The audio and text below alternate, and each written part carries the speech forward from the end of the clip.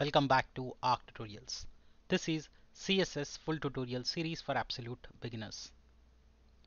Previously in this series we have learnt about CSS border property. Today we are going to learn about CSS outline property. Outline and border may seem confusing to beginners, especially because of the way they work, but there is a fundamental underlining difference between both. Outline is used to highlight outside the border. I'm going to show you that in hands-on in today's episode. Let's get started. This is part 14 of the series. You, you also want to maybe check out the HTML and JavaScript playlist that I have on my channel that will help you become a front, front-end developer. Alright, coming back to the CSS series, I have already covered 13 episodes from basic that will really help you master CSS. So make sure that you go through them in order to learn and master CSS with me. Today we are focusing on learning about CSS outline property. So outline is a line drawn outside the element's border. An outline is a line that is drawn around the elements outside the borders. Okay, remember that that's the very very fundamental difference between border and outline. With outline it will be outside the borders whereas border will put a border around the element okay. Now outline has four important properties. Outline style outline color outline width outline offset. You can also set them all using the minified or the shortcut which is using outline. Right so just like border but remember the difference being that outline will be outside the border. Okay? So let's go ahead and see that in the hands-on. Alright so in the previous episodes we have put a simple border for the elements if you notice. Today we will add outline to that. So this was a simple example we took in the last episode to cover height and width. We added a border.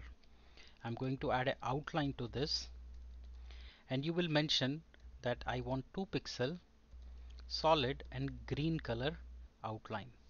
So remember the difference between border and outline is that border will put it around the element outline will be outside the border.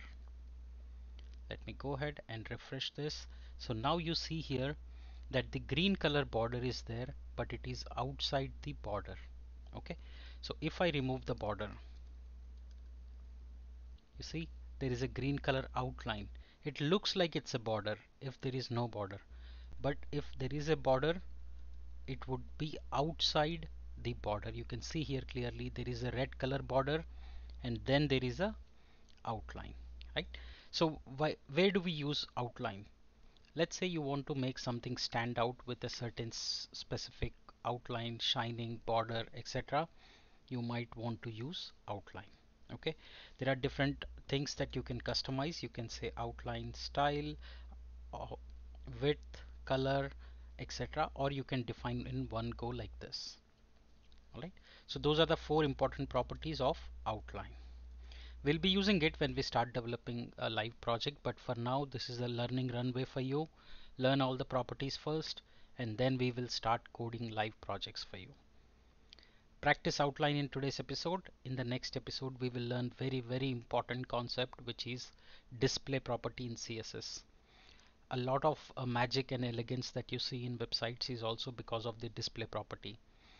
If you know if you can master the display property in CSS you will be halfway through in design. So that's very important. So join me in the next episode. We will learn about the display property in css thank you so much for joining in this episode. See you in the next one